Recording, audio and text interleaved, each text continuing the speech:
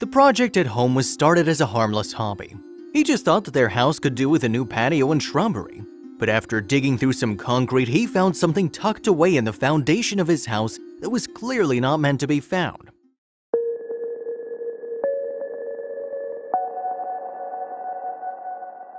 David also knew that it was high time he fixed up his home in Michigan. He'd always used an excuse to put it off, but not anymore. After one of his kids hurt themselves on the stairs, he knew it was the final straw. He would tear down the front stairs, and while he was at it, he would build a porch.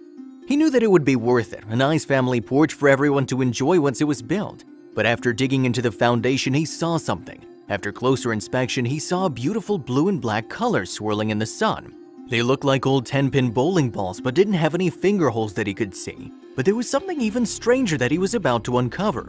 After finding it, he would feel like he was some kind of archaeologist on the hunt for artifacts. He found another, then another. He couldn't believe how many were underneath his house. He decided he'd get to the bottom of this and he dug a full two feet lower than he originally planned. There were 160 balls that he could find, but he hesitated after his daughter said something. What's inside them, Daddy? This made David drop the one he was holding and look down. The first clue that he found was the name on each ball. It seemed that there was a company name on it. And what's more, there was even a phone number on each of them too. He gave them a call and explained what he'd found. After this, he got the answers he'd wanted.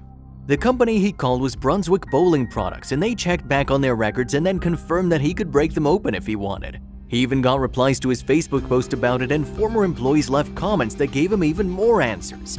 David got his family to a safe location before bringing out his hammer and smashing the ball.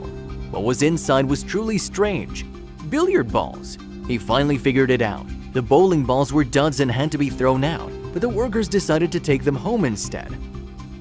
The bowling balls ended up having a new purpose. The previous homeowner decided to use them for something clever. But with 160 balls, what was he going to do? Then a local church had the answer. For some odd reason, the local house of worship had a bowling ball cannon. David had no idea what it was used for, but he was at least sure they could be used for something good. Next was his stepfather, who also turned out to be just as creative as he was great at DIY. This was even cooler. The plan was to use them for feet on his furniture projects. Finally, David would keep the rest. He had a brilliant idea to spray paint them in some nice fake rock textures and use them as borders for his gardens or some sort of sculpture. Next was an amusing GoFundMe page. If you have funds to spare and would like to help me find another excavation, please help my cause, he wrote on Facebook. At this point, I could either let my story fade away into the past or I could grab it by the balls and continue the story and spread positive vibes.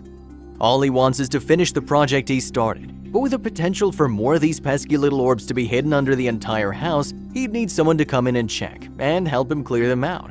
Only then could he get that patio he promised his family.